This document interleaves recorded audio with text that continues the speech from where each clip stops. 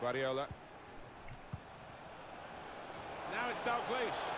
A great chance to go in front. What the fuck just happened?